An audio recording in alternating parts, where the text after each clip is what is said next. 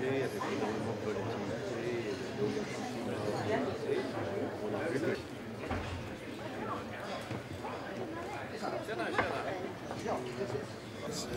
I think it's too early to judge. We'll have to wait the uh, outcome of the constitutional process in Rome now, whether it will be a, a continued Prodi government, that is not to be excluded, whether it's going to be another government or whether it's going to be new elections.